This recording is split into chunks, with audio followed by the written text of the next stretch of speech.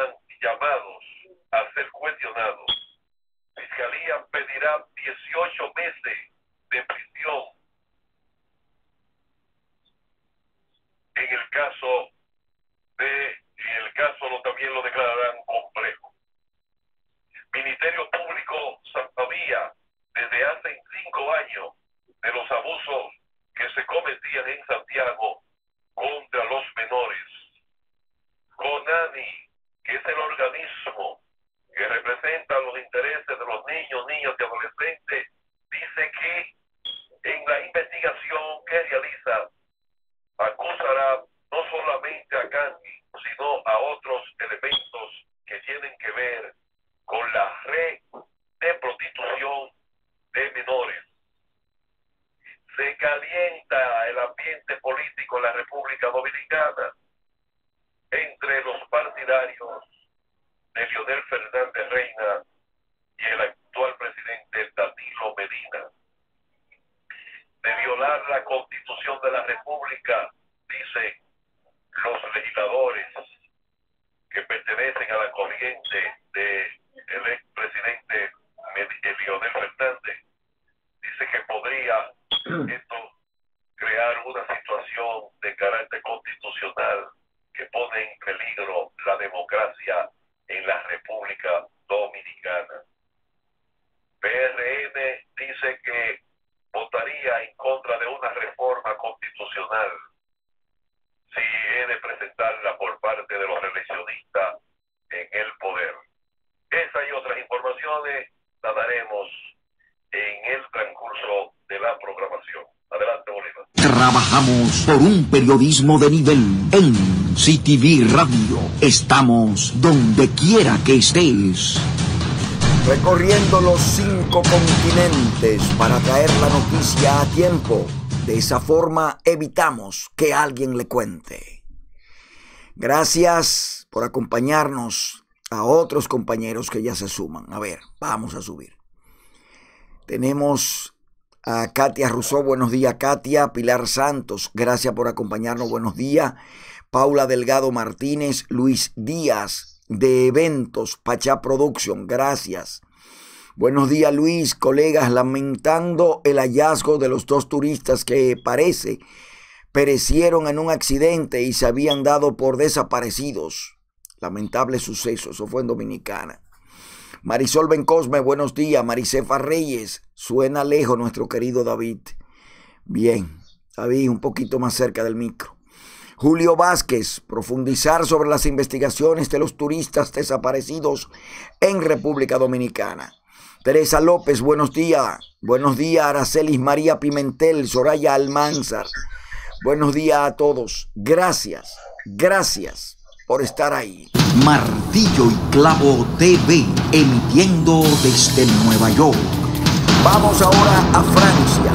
¿Qué nos trae Radio Francia Internacional? 32 muertos y una cincuentena de heridos dejan cuatro días de violentos combates en Trípoli, una ofensiva lanzada por el general Haftar, jefe del Ejército Nacional Libio, que representa al este del país. Las tropas del Gobierno de Unión Nacional, reconocido por Europa y Estados Unidos, repelen el avance de Haftar en su empeño por limpiar, afirma, la capital de sediciosos terroristas y mercenarios. Recogimiento en Ruanda en el vigésimo quinto aniversario del genocidio, cerca de un millón de tutsis masacrados por la mayoría Hutu. Varios jefes de Estado y de Gobierno presentes en la inauguración de las ceremonias, a la excepción del presidente de Francia, país cuyo manejo del genocidio sigue siendo controvertido. Bolsonaro, el presidente peor calificado en Brasil desde que terminó la dictadura, a sus 100 días de gobierno, el mandatario brasileño es considerado malo o pésimo por un 30% de encuestados, mientras que un 32% estiman que es bueno o excelente y un 33% regular. Bueno, vamos a entrar en materia. El diario La Prensa de Nueva York trae en su portada de hoy, hayan cadáveres que podrían ser de pareja de turistas de Nueva York en República Dominicana. Dice la nota, dos cuerpos no identificados hallados en la escena de un accidente de tránsito posiblemente pertenecen a Orlando Moore, de 43 años, y Portia Ravenel, de 32, pareja de turistas de Nueva York reportados desaparecidos en la República Dominicana. Un accidente de tránsito. Eso es lo que dice el diario aquí, para que allá no se invente. Se han tomado las huellas dactilares de los cuerpos y están en proceso de ser identificados, confirmó el coronel de la Policía Nacional de la isla, Frank Félix Durán Mejía, citado por CNN. Moore y Ravenel debían regresar a su residencia en Mount Vernon, New York, desde República Dominicana el 27 de marzo, informó la hermanastra de él, la Shay Tuner, quien los reportó como desaparecidos. Durán Mejía dijo que una mujer que encaja con la descripción de Ravenelf fue encontrada inconsciente ese día en la carretera que conduce al Aeropuerto Internacional de Santo Domingo. La mujer, que no llevaba identificación, fue trasladada a la unidad de cuidados intensivos del Hospital Doctor Darío Contreras y murió ocho días después, el 4 de abril. El 31 de marzo, el cuerpo de un hombre que encaja con la descripción de Murph fue hallado en el mar cerca de Sanssouci. Estaba en etapa avanzada de descomposición y tenía un tatuaje que decía Milano en su brazo derecho. Las autoridades están pendientes. Las autoridades creen, dice el diario La Prensa, que el auto alquilado de la pareja se hundió en el océano en las primeras horas del 27 de marzo, cuando iban camino del hotel en Samaná al aeropuerto para volver a Estados Unidos. Una revisión de las cámaras de vigilancia del aeropuerto reveló que la pareja nunca llegó al terminal. Pescadores se reportaron un vehículo en el océano, según Durán Mejía.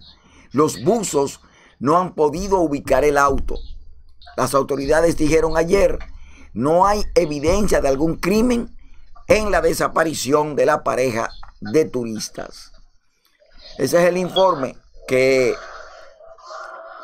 en trabajo de equipo con CNN da sobre dos neoyorquinos, el diario La Prensa, que es el principal periódico hispano de la ciudad de Nueva York.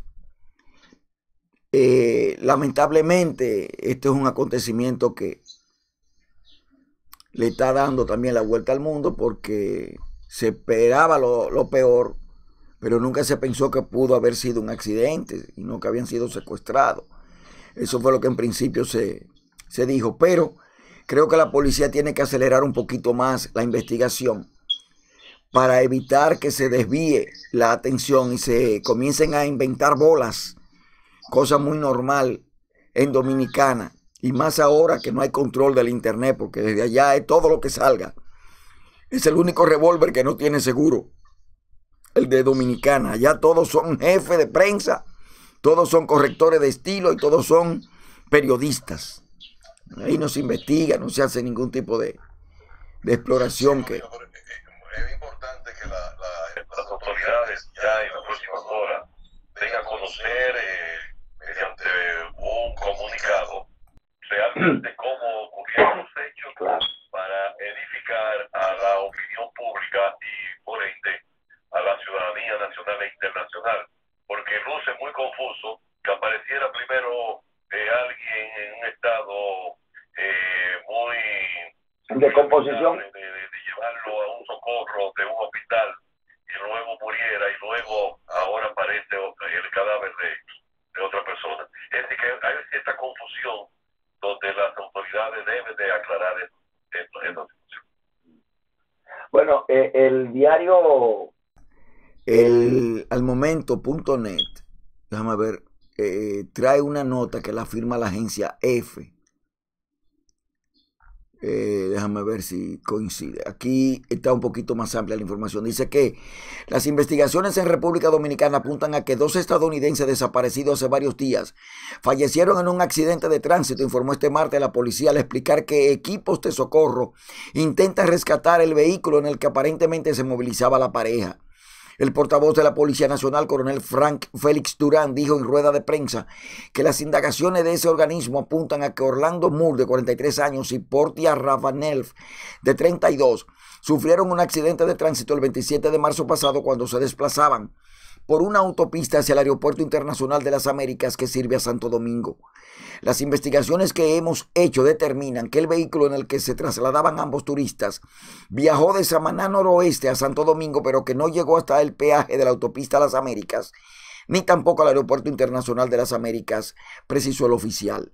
De acuerdo con el oficial, un equipo de buzos del Sistema Nacional de Emergencia y Seguridad 911 trabaja en las labores de rescate de un automóvil que se encuentra en el fondo del Mar Caribe en la costa sur dominicana próximo a esa terminal en el que presumiblemente viajaban ambos turistas.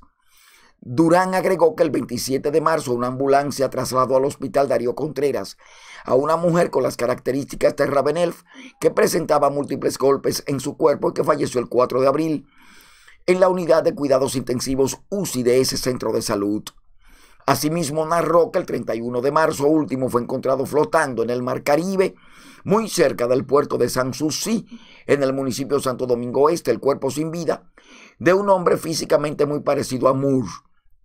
Tenemos que el, tenemos, mm, que el presunto accidente se produjo en el kilómetro 19 de la autopista Las Américas y el que podría ser el cuerpo de Moore fue hallado a unos 20 o 30 kilómetros de distancia cuatro días después del suceso, afirmó el portavoz policial al apuntar que buscan realizar un procedimiento de identificación. Este lunes, las autoridades confirmaron que fueron contactados por familiares de los desaparecidos, eh, cuya más reciente fotografía en sus redes sociales los muestra en algún lugar de Samaná montados a caballo junto a otras dos personas no identificadas. La pareja viajó a Samaná el 23 de marzo pasado para pasar cuatro días de vacaciones en un hotel de esa zona. Ese es el informe. Vamos a ver si conseguimos entonces una nota, la nota que da la policía. Eh, vamos a YouTube. Eh, eh, pareja de neoyorquinos. Vamos a ver si la policía de video. Aquí está. Con relación a la desaparición. Vamos a, vamos a, vamos a pasar de inmediato lo que dice la policía sobre el caso. Vamos allá, vamos a subir un poquito este volumen y vamos a darle eh, entrada al comandante de Relaciones Públicas de la policía, el coronel Frank Félix Durán Mejía. Vamos a escuchar lo que él dijo. Con relación a la desaparición de los dos norteamericanos, que desde el día primero de este mes, nuestras unidades eh, adscritas a la Dirección de Investigaciones Criminales eh, activaron el protocolo de búsqueda, ya que fueron eh, avisados de la desaparición de los mismos. Todas, todas las evidencias levantadas hasta este momento hacen presumir que la desaparición de los norteamericanos Orlando Moore, de 40 años, y Portia Denise Ravenelle, de 52 años, señalan un accidente de tránsito a la altura del kilómetro 19 de la autopista Las Américas.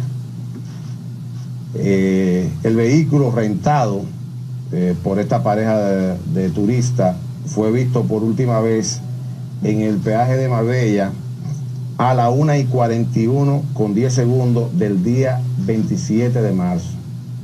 A partir de esa búsqueda, de esa, eh, de esa información, el cerco de búsqueda se cerró desde ese punto hacia el punto de destino de que se tenía conocimiento, que era el aeropuerto de las Américas.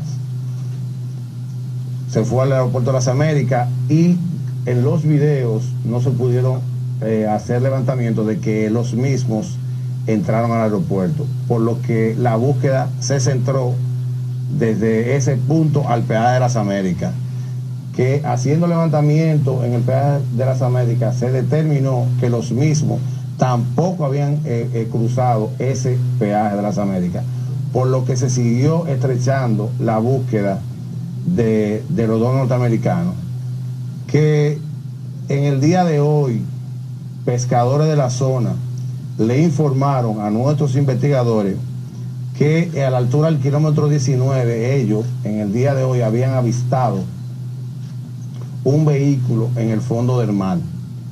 No se ha podido identificar las características de ese vehículo porque en esto, el día de hoy el mar ha estado muy agitado y los buzos del 911 no han podido fondearse en ese lugar en virtud de que ese punto es conocido como la batidora, eh, a lo que los pescadores de la zona hacen referencia de que hay una fuerte corriente que eh, golpea eh, abajo. Y por eso están, los buzos todavía están en la zona esperando poder eh, introducirse para identificar las características del vehículo.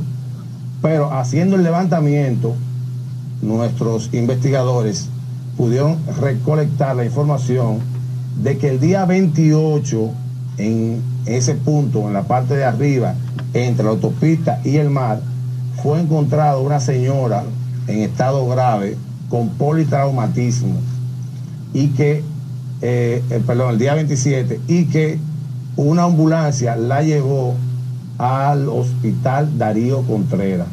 Inmediatamente nuestros investigadores se dirigieron al Darío Contreras, donde eh, le informaron que ciertamente el día 27 fue llevada una señora con la característica muy parecida a la de Portia Denise Raveniel y que la misma había fallecido el día 4 en cuidados intensivos, por lo que el protocolo de salud indica que la persona fue llevada a, al INACI para fines eh, de determinar la causa de la muerte y la identificación de la misma, ya que nadie había presentado, se había presentado al hospital exigiendo eso, exigiendo eh, información con relación a, la señora. Siguiendo con la investigación eh, y, tratando de buscar evidencia y atar cabo con relación ya al masculino que falta por identificar,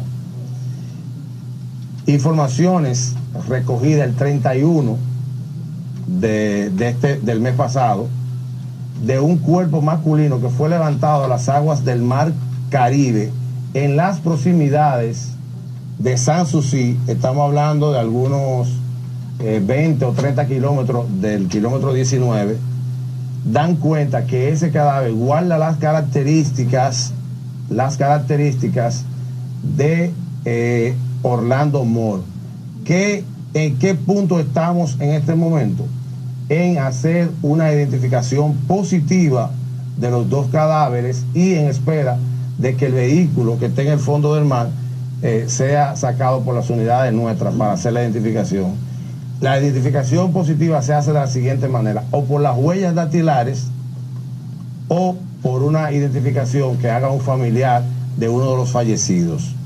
Ustedes saben que por ser norteamericano se nos hace, un poco más difícil ese protocolo porque nosotros no guardamos una data dactilar de estas personas. Ya se le tomaron las huellas y se enviaron a, nuestras, a nuestros colaboradores en Estados Unidos a fin de que nos puedan certificar eh, la identificación de estos dos norteamericanos. Eso es lo que tenemos hasta el momento. Si hay alguna pregunta. Se había dicho que el hombre tenía tatuaje. Sí, el, el, cadáver tiene un tatuaje en eh, mano derecha que dice Milano y es lo único que podemos identificar. Tiene varios tatuajes más, pero tenemos que esperar a ver cuál es la relación con las fotos que tenemos de ellos en, la última visita que hicieron a Samaná. ¿Es cierto que él tenía audiencia en Estados Unidos el 3 de abril? Los registros que nosotros tenemos hasta el momento dan cuenta de que él ha, tenido varios arrestos por manejar ebrio, en estado de embriaguez. Recordemos que su vuelo salía a la una y media eh, de, la, de la mañana y que ellos fueron vistos por última vez en el peaje a la 1 y 41, por lo que entendemos que ellos llevaban prisa para tratar de, buscar ese vuelo. Eh, según informaciones en medios internacionales, ellos, la renta confirmó que ellos habían entregado ya el vehículo. No, los investigadores, según lo que nosotros tenemos informaciones, eh, el rencal no había recibido el vehículo. O sea, que el accidente pudo haber sido en el vehículo que yo tenía Claro, claro. ¿Y hay un sitio donde el accidente? Kilómetro 19 de la autopista de las Américas. Eso está desde, desde el punto donde lo vieron hacia eh, el aeropuerto internacional de las Américas. ¿Pero hubo choque, hubo impacto? No, simplemente... no, presumimos, hasta el momento hubo un deslizamiento. Eh, ustedes saben lo que, que, esa zona por ahí, eh, si, si llueve o está mojada, es muy peligroso, hay que tomarla con precaución. ¿Deslizamiento al mar? Al mar. Sí, ya eh, contactamos las, las unidades las, a la embajada norteamericana y ellos están haciendo contacto con los familiares a ver si ellos pueden venir a hacer una identificación lo antes posible. Bien, señor. Muchas ¿El gracias. el cuerpo de la señora fue recuperado del mar? No, fue, fue recuperado el- ese día eh, fuera en la autopista con golpe tra- eh, de politraumatismo diverso. O, el, o, el- o salió o el accidente la, la, la botó. Vamos a esperar. Se investigaba ese caso, se investigaba como un accidente, como que alguien la había, la había atropellado, porque no había evidencia de vehículo ahí. Y por eso la investigación estaba separada de la búsqueda. O sea, que se pudieran presumir que ella, que en el choque o en el accidente... El accidente- ella salió disparada, sí, sí. Eso es lo que se presume, porque tenía mucho, tiene mucho Bueno, ahí tienen lo, el tiempo reglamentario de, de lo que dijo la policía sobre el caso de estos turistas. Creo que hemos cubierto la, información completa. Todo apunta a que han muerto por un accidente de tránsito. Se precipitaron al, al Mar Caribe. Es posible que ella no llevara el cinturón puesto y el, el impacto la disparara, por eso aparece primero. Si el carro se fue al fondo del mar, como dice el coronel eh, Félix Durán, Fran Félix Durán, es posible que eh, él llevara el cinturón y que luego con el agua aflojara y de ahí entonces apareciera los cuatro kilómetros que establece el, el jefe de Relaciones Públicas de la policía. Creo que hemos ventilado el caso como debe ser. Escuchamos la versión del periódico de Nueva York, escuchamos la versión de la agencia F a través del periódico Al Momento y acaban ustedes de escuchar lo que en, en YouTube dice el, la jefatura de la policía. ¿Algo al respecto, David, para cerrar ese capítulo? Ahí prácticamente se cierra el caso con esa declaración que da el jefe de la policía, el, el encargado de relaciones públicas de la Policía Nacional. Ya, con eso se cierra. Hay señales de muy buenas emisoras surcando el éter. Aunque... Tú estás conmigo, gracias. Bien, cubanos marchan por animales. Escuchemos. Unos 300 activistas se manifestaron el domingo en La Habana para exigir una ley de protección animal. Es la primera protesta independiente que se realiza en la isla en años. Esta marcha eh, marca un antes y un después en la, la protección de animales en Cuba y la considero como un hecho histórico. Los activistas, algunos acompañados por sus mascotas, recorrieron con pancartas unos dos kilómetros por las calles del céntrico barrio del Vedado. Totalmente de acuerdo. Debió quizás haberse señalado un poquito más claramente en esta constitución que se va a, a ratificar ahora, pero si no, bueno, se, dejaron las puertas abiertas para, para hacer leyes, para tomar medidas al respecto. Yo estoy muy de acuerdo en que se haga. Cada 7 de abril, que es Día del Perro en Cuba, los grupos de defensores de animales organizan actividades. Pero la marcha del domingo fue la primera que se realizó de manera independiente. En un país donde este tipo de eventos siempre se canaliza a través del gobernante Partido Comunista. Los activistas que realizaron su convocatoria a través de redes sociales obtuvieron un permiso de las autoridades municipales para marchar y portar carteles con sus principales demandas. De manera simbólica, la manifestación partió del Parque El Quijote, en El Vedado, y llegó hasta el cementerio de Colón, donde está la tumba de Janet Ryder, una filántropa estadounidense que fundó en 1906 en La Habana la Sociedad Protectora de Niños, Animales y Plantas.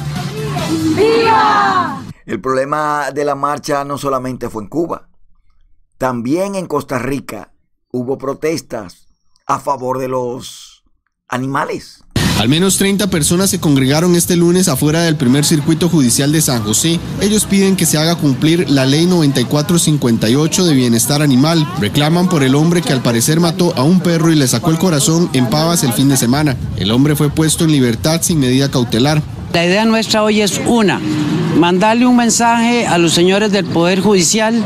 Aquí se cometieron dos delitos. Primero que nada, violencia intrafamiliar.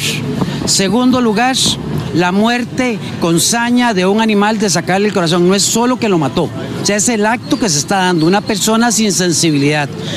¿Qué vida ha estado llevando esa pobre hermana?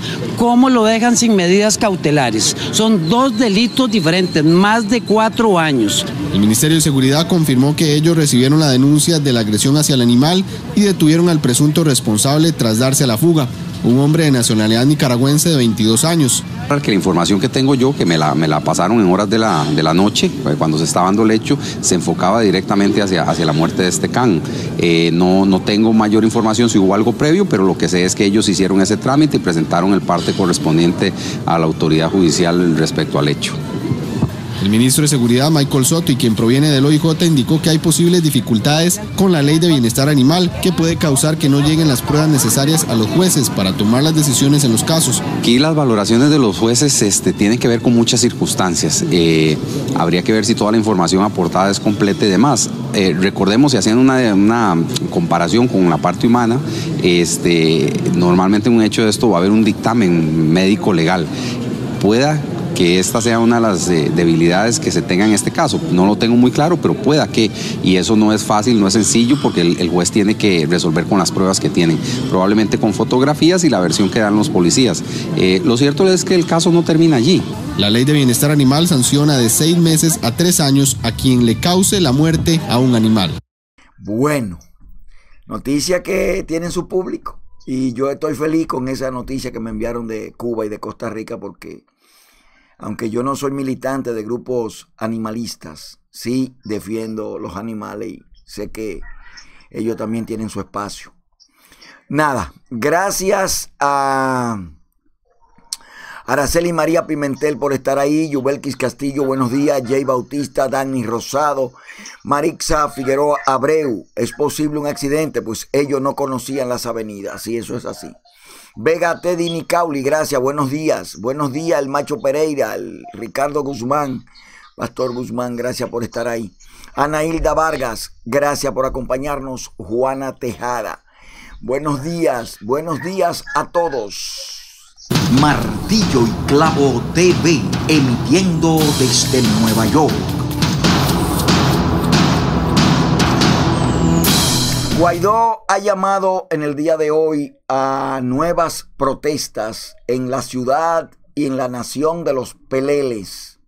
Ya se hizo un loop, eh, más de lo mismo. Allí se protesta, la policía le entra a palo, ellos salen corriendo, se va a la luz, ellos protestan, eh, se implora el 187-11 para que entren los guardias eh, a defender a los Peleles y los peleles contestan a través del, del Twitter y a través del Facebook. Todo se ha vuelto un look, un arroz con mango. Una nación que lo que más produce es gasolina. Ahí no se sabe hacer una bomba de botellas. Eh, una nación con, con, una, con una pradera terriblemente amplia que es la Amazonía, lo que más tienen es palo. Allí no se usan palos para entrarle a palo los policías que usan palos. Eh, los hombres salieron huyendo, las mujeres son las únicas que tienen pantalones y pantaloncillos en Venezuela. Guaidó parece ser que va a ser el hombre que van a poner en el medio para sacrificar y al final no va a pasar nada. No es verdad que los gringos se van a meter, se van a meter a Venezuela a que le maten sus hombres, cuando el venezolano ha demostrado que no tiene interés de liberarse. Con todo lo que está sucediendo, los empleados públicos tampoco dan su brazo a torcer y en vez de unirse a la lucha, lo que están es eh, buscándose los pesitos y ahí no se habla de nada. Diosdado es presidente de Venezuela, Guaidó es presidente de Venezuela, eh, Padrino López es presidente de Venezuela, es presidente de Venezuela también Maduro, es presidente de Venezuela eh, Diosdado Cabello, es presidente de Venezuela eh, Putin, es presidente de Venezuela eh, Donald Trump, es presidente de Venezuela Helio Abrams, Pompeo, es presidente de Venezuela la María Corina Machado, es presidente de Venezuela Leopoldo López, entonces una nación de locos que no se sabe por qué mundo anda. Y marcha van y marcha vienen y no se toma ninguna decisión y hay una guerra mediática terrible, entonces una gran parte de gente que en un momento estuvimos de frente tratando de, ayudar a paliar la necesidad, pues nos hemos ido diluyendo y cada quien anda por su lado. Nadie quiere, nadie quiere eh, darle ya seguimiento a la situación de Venezuela porque realmente se torna difícil, eh, se torna repetitivo Por ejemplo, uno de los periódicos disidentes de Venezuela dice, conozca los puntos de concentración para la protesta de este 10 de abril para la llamada Operación Libertad. Un grupo de gente protestando. No sucede nada. Los venezolanos vuelven a las calles este 10 de abril tras derrota de Maduro en la OEA. No se resuelve nada. Sigue el desastre eléctrico. Reportan que al menos 20 estados del país están sin luz desde este 9 de abril. No se hace nada, pero recuérdense que Cuba tiene 60 años en el poder, los comunistas, en un atraso meteórico. Pero fue con ese mismo procedimiento, apagándole la luz, llevándole el agua.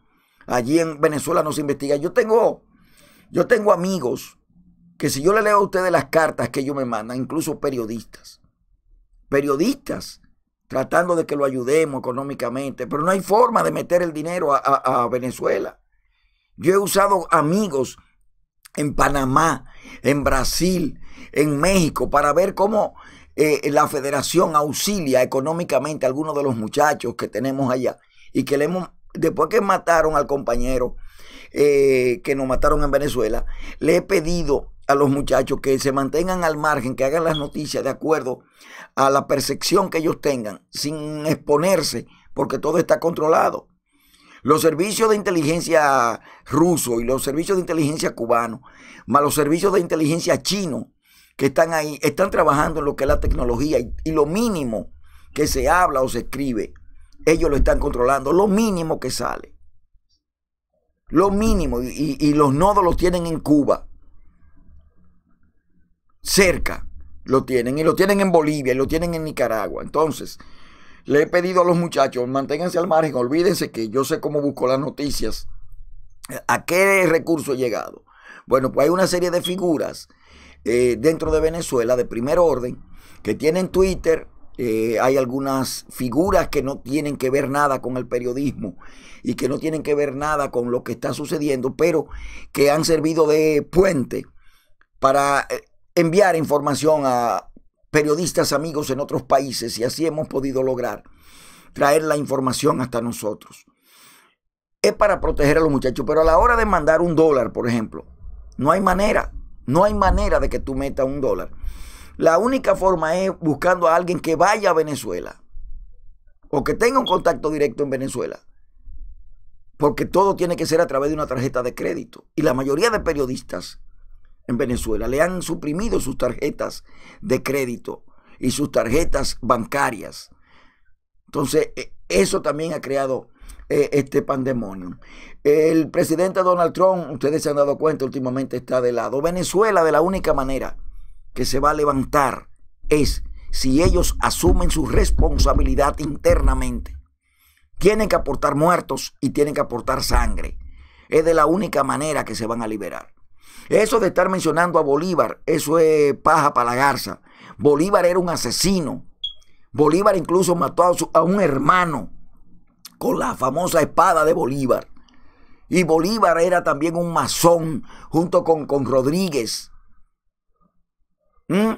Se quiere vender un Bolívar muy revolucionario cuando Bolívar era un, un bandido, cuando se fue y firmó el acuerdo Petión Bolívar, lo que perseguía era de, de granar a la República Dominicana. Y de eso no se habla. ¿Eh? Y de eso no se habla. ¿Y cuántas veces fue a, fue a, Haití a sonsacar? Y luego se alegó que era de que buscando ayuda. Nada. Era ayudando a los haitianos para que hiciera lo que está pasando ahora.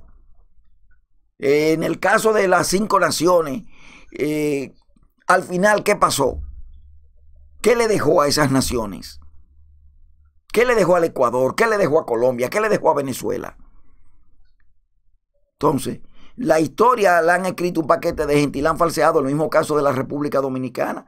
La historia dominicana que la Virgen de la Mercedes se le apareció a, los indios y acabó con todo. ¿Eh?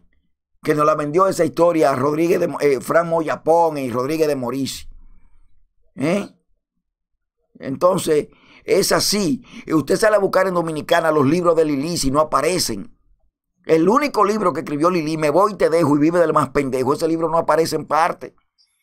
Usted sale a buscar los decretos de Lili y no aparecen. porque lo desaparecieron entre una parte de la gente de Joaquín Balaguer y una parte de la gente de Juan Bosch. Desaparecieron los, los, los libros y la historia de los gobiernos del presidente Lilis. Usted va al archivo, eh, eh, al archivo nacional de la nación y no encuentra documentos de Lili suficiente. Es más, ni fotografía de la época de Lili eh, hecha a plumillas. Y eso mismo está pasando en Venezuela. Entonces Guaidó, en vez de estar creando eh, pandemonio, pandemonio, si se van a meter, o sea, tú me dices hoy, hay dos mil militares que van a resguardar a la capital. Dos mil militares, perfecto. Y llegan 300, eh, 400 mil ciudadanos en una marcha.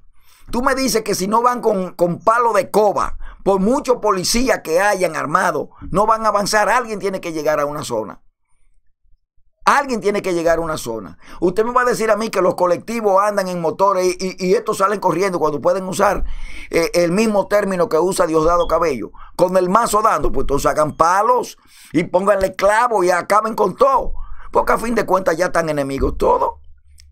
Ya están enemigos todos. Y te lo está demostrando Maduro que están acorralados. Maduro no está pidiendo diálogo a esta altura del juego. Oiga lo que dijo. Cesen los ataques terroristas y las emboscadas y con el acompañamiento de México, Bolivia, Uruguay y el Caribe, Venezuela puede instalar más temprano que tarde una mesa de diálogo nacional con todos los sectores políticos, culturales, económicos y sociales.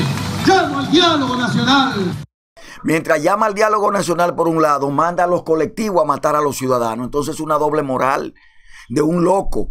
Entonces este loco tiene el apoyo de otros locos tiene el apoyo de un baboso, eh, un baboso infuncional que es eh, Evo Morales, que ese tipo lo único que, produce es asco y odio y resentimiento y raíces de amargura.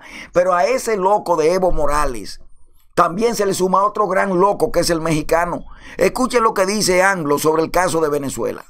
Nosotros hemos propuesto que las partes se sienten a dialogar, que eso es lo mejor. El buscar una salida eh, pacífica en el conflicto de Venezuela.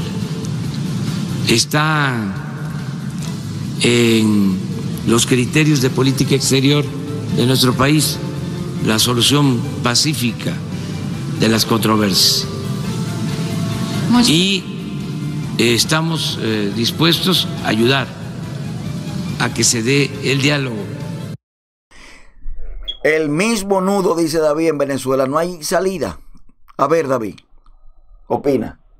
No, el mismo nudo porque realmente hay una desobediencia por parte de una gran parte, de, de la mayoría del pueblo venezolano que no quiere, no quiere ese régimen eh, pero la clase media y la clase pensante del pueblo venezolano está en el exilio, está en el exilio, muchos de sus líderes están en Miami, otros están en República Dominicana, otros han salido para Europa y han dejado descabezado el movimiento, el movimiento que podría ser el movimiento insurreccional para acabar con la dictadura.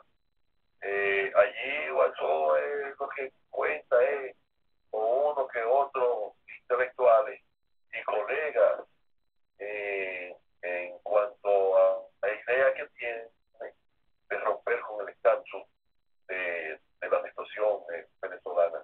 No más de ahí. Mientras los venezolanos, en su mayoría, la, la inmensa mayoría de los humildes venezolanos, una llegada eh, que llegue de, Norteamérica o que llegue de Centroamérica o, del mismo Caribe en ayuda de ellos, sea de esto de carácter evidentemente militar o desde el punto de vista social, oye, para poder salir de la situación, cuando son problemas de los propios ciudadanos, son ellos los que tienen que asumir su situación y, y buscar la salida. Ellos, ellos, el interno y a lo interno ellos son mayoría. El pueblo venezolano no quiere a Y se ha demostrado a través de, de, de estos últimos años, con esas grandes multitudes van a la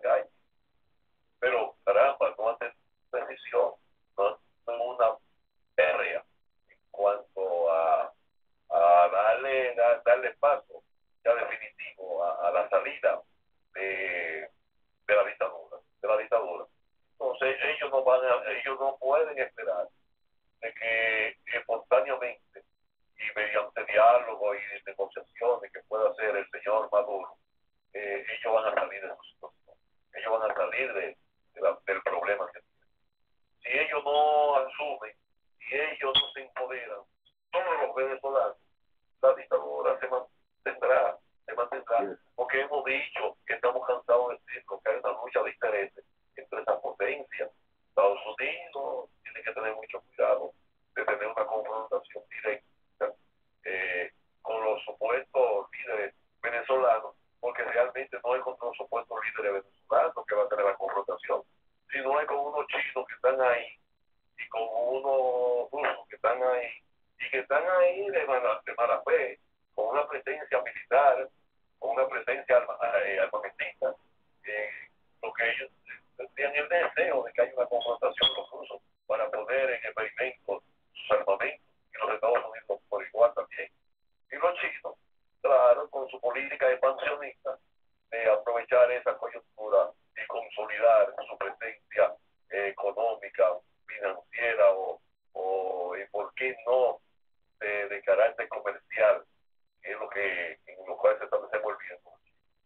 Así que la situación es un poco difícil, es muy difícil en cuanto a la confrontación directa eh, de, hacia, de afuera hacia adentro en Venezuela, sino que el problema tiene que ser a lo interno, adentro, Claro. y hay que buscar una solución adentro, que son los venezolanos que tienen que tomar la iniciativa.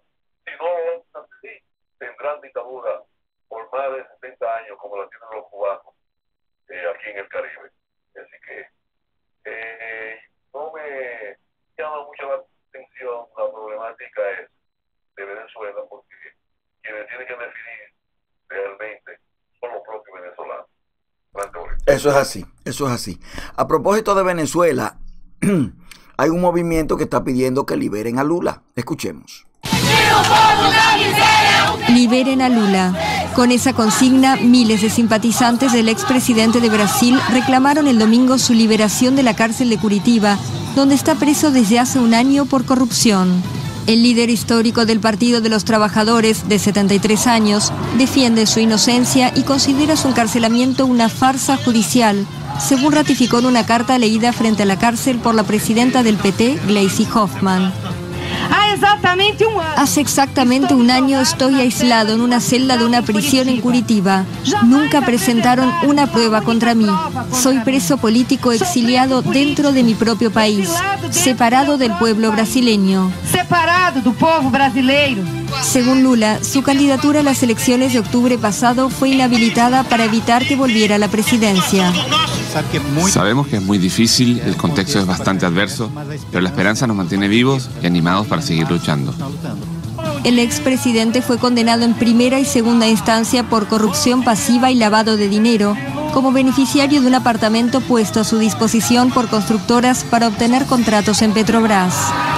En febrero de este año, la justicia lo sentenció a otros 12 años y 11 meses, al considerar que obtuvo reformas en una hacienda, igualmente a cambio de contratos en la petrolera estatal. Tenemos problema en Brasil, tenemos problema en Bolivia, tenemos problema en Dominicana, tenemos problema en Venezuela, tenemos problemas en Estados Unidos, tenemos problema en Rusia, tenemos problema en el Medio Oriente y tenemos guardado en archivo un plan de sacar el 95% de los humanos del planeta en el 2030, dejar 500 millones de seres humanos solamente dentro del planeta.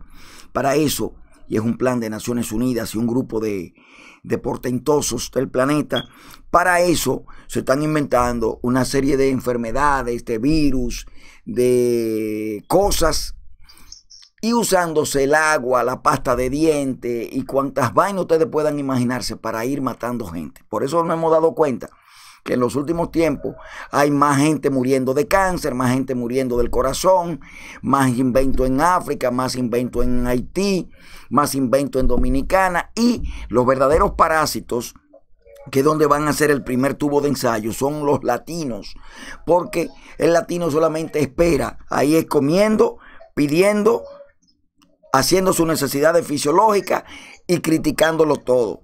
Eso de que la frontera y que esto a los americanos y a los poderosos del mundo no les interesa para nada, para nada les interesa que vengan inmigrantes porque ya el mundo está robótico.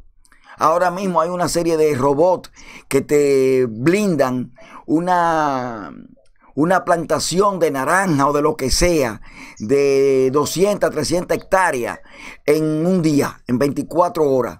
Y la ventaja es que el robot no se queja, no pide agua, no pide break, no hay que darle dinero de pago, nada de eso, más que echarle aceite. Y ya son millones y millones de robots que están suplantando al hombre. El primero que fue suplantado fue quien te chequea en un aeropuerto. Ahora tú vas a un aeropuerto y te topa con una computadora y ahí hace todos tus trámites y todas tus cosas y nada más tienes que entregar el ticket cuando sube al avión. Cuando eres ciudadano, por ejemplo aquí en Estados Unidos, eres ciudadano, te meten en una línea y esa línea te lleva a una franja donde hay 200 robots lo que reciben tu, tu pasaporte, te, te, chequean, no entra en ningún diálogo, tú llenas, sí, no, sí, no, sí, no, te fuiste de ahí con un ticket que entrega al salir. Fuera seco. Eh, tú llamas a cualquier oficina del Estado aquí, te sale un robot y el robot es quien te habla, te contesta la mayoría de cosas, adiós seco. Difícilmente tú tengas contacto con un, con un ser humano. Tú te vas a cualquier oficina pública y pasa lo mismo.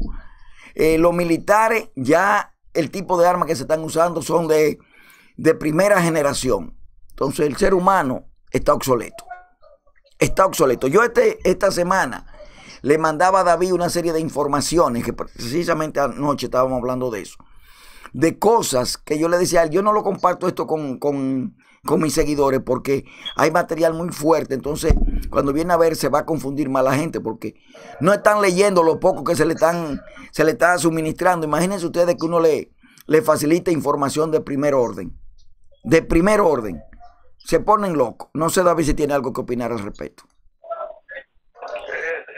Sí, eso es cierto, Oliva, y, tanto trauma que tiene la humanidad, eh, uno no puede seguir eh, alimentándole eh, con informaciones que son evidentemente científicas y que forman parte ya de una de una metodología que se aplicaría en los próximos años hasta el, hasta el 2030, donde a partir del 2030 eh, otra situación se dará en todo el planeta, porque ya están dadas todas las condiciones para la, eliminación de millones y millones y millones de, seres humanos, que en el fondo vamos a ser eh, justos y, hay que ser claro en este aspecto. Que viven una vida evidentemente parasitaria, que no aportan nada, no están aportando nada a la, a la humanidad,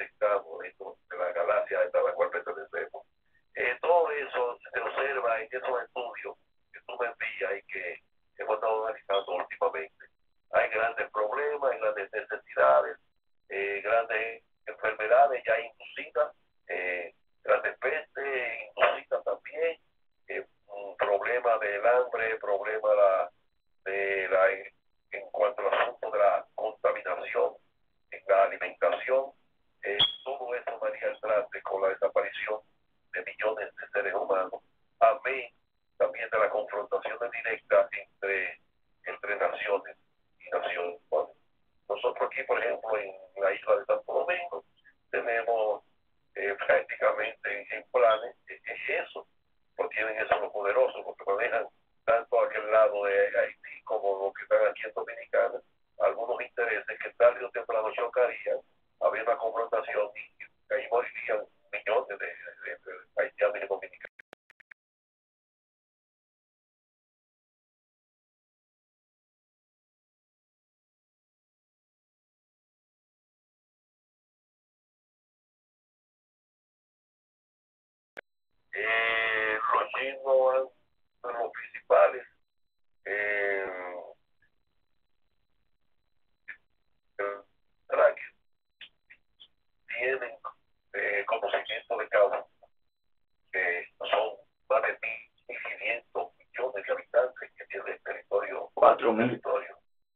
me, me, your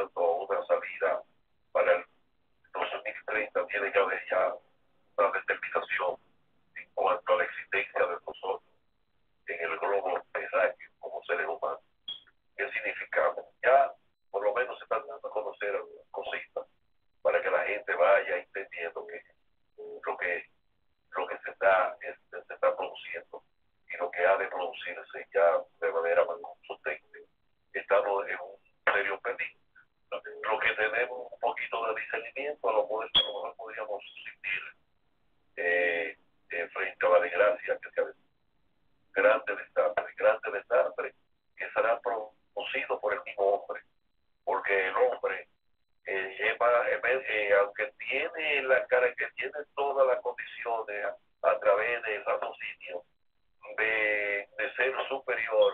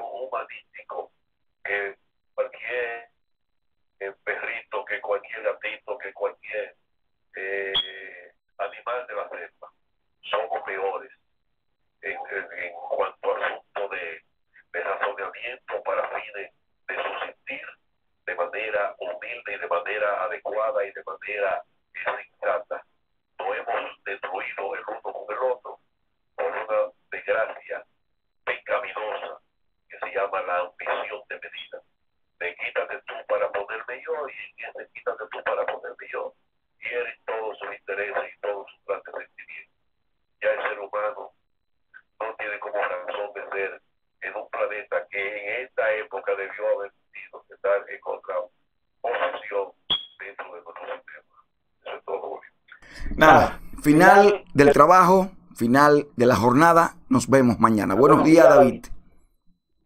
Buenos días, Bolivia. Bien, gracias a todos. Será pues hasta mañana jueves. Hasta entonces. Desde Washington, D.C., escuchan la voz de América. Radio Canadá Internacional.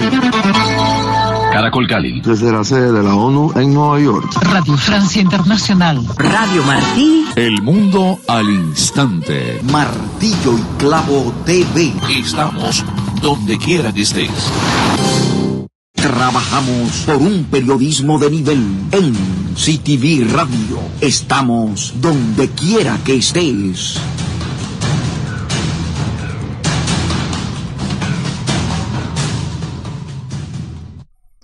ahí cerramos. Cerramos por hoy, cerramos por hoy.